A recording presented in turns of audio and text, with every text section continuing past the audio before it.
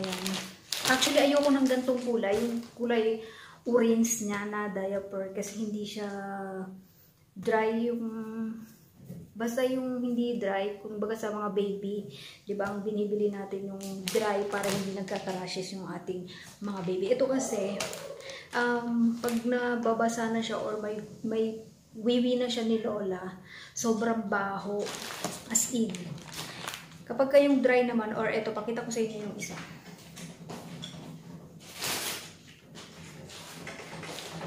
Ito yung dry na diaper niya. So, ganito yung itsura niya. So, eto, pag nabasa niya to, hindi siya ganun kabaho. Pag itong orange at saka yung green, sobrang baho, guys.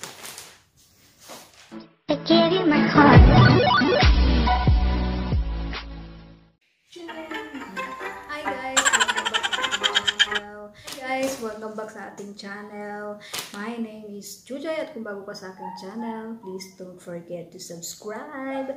By the way, for today's vlog, we are going to make another grocery haul. So, uh, so yun, meron na naman tayong uh, I think konti lang naman to. Nasa box lang kasi uh, talagang dito sa Taiwan eh kung hindi sa box siya nakalagay sa plastic. So, huwag na tayo magpatumpik-tumpik pa at mag-boom karak-karaka na. So, anyways, welcome back again sa ating channel. So, simulan na natin ang ating grocery haul. So, simulan natin to sa ating diaper ni Lola. So, dalawa to guys. Yung isa nandoon. Hindi ko na kinuha. So, ito. Dalawang diaper ni Lola. Ayan.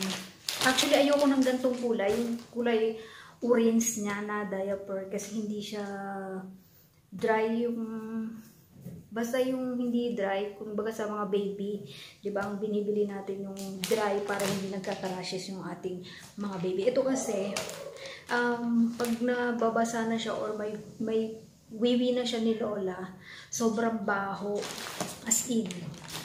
Kapag kayong dry naman or ito pakita ko sa inyo yung isa.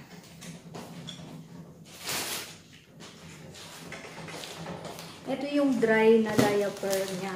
So, ganito yung itsura niya. So, eto, pag nabasa niya to, hindi siya ganun kabaho. Pag itong orange at saka yung green, sobrang baho, guys. Eto, yung ano, yung uh, pink, pwede ka pang hindi magmas. Pag ito, at saka yung green, sobra asin.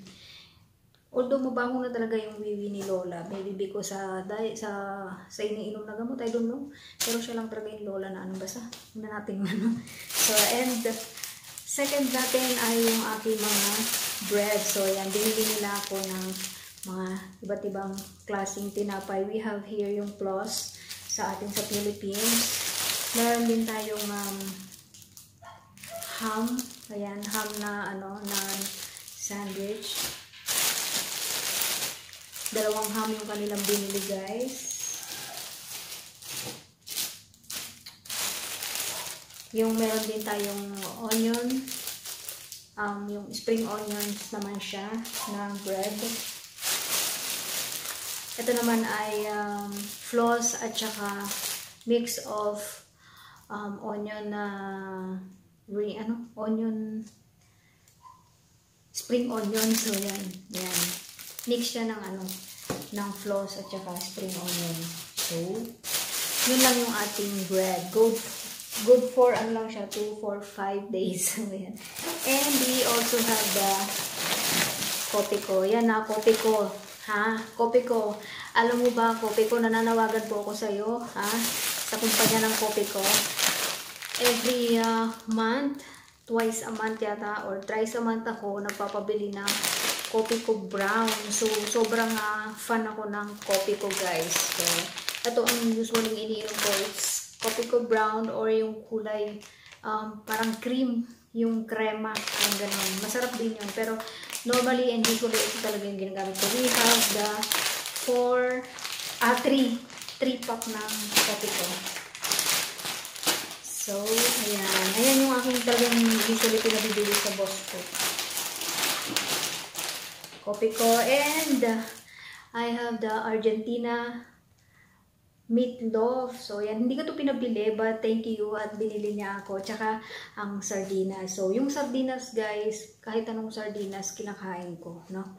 So, yan. Binili niya ako ng mega sardines na extra hot. So, yan. As in, wala na talaga akong ano, guys. Pero may mga ulam pa kasi ako, kaya hindi ako masyadong nag, nagpabili ng karne o tsaka isda kasi marami pa akong isda dyan sa rep. Uh, bubulok na yun. Mag, magto 2 months na ngayong ano. Oh, next month, 2 months na yun. So, baka bulk. And we have the eggplant. Then, meron tayong apat na pirasong um, talong na malambot na siya. So, mukhang uh, luma na to. Hindi na siya fresh, guys. And we have the I think milk tea ito. Milk tea na nasa ano siya. Ayan, milk tea nga siya guys. Milk tea ng Taiwan. So, ayan. Hindi ako mahilig sa mga, mga gantong, ano, mga inumin na milk tea or milk. Hindi ako masyadong mahilig sa mga gantong. Yung juice na, ano, na nasa pack, pwede pa. Pero pag mga ganyan na milk tea, hindi. Hindi ako mahilig sa mga ganyan. And, we have the guava. Guava tawag dito no sa bayabas. This is guava. We have three kinds. Oh, three pieces. And,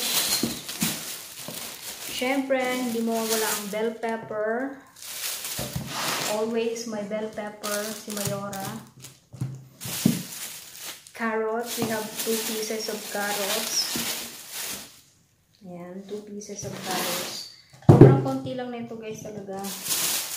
And, what is this? Ayan, cabbage repolyo. Ang uh, talagang normally hindi pinadadala dito nila sa amin. Always cabbage, patola, bell pepper, aywan ko ba. Tsaka sibuyas. Sibuyas talaga hindi pwedeng mawala dahil uh, I love onion. So, ayan. Anyways, meron pa palang isang um, luyot na talong. Malambot na yung talong, guys. Parang si Junjun, malambot.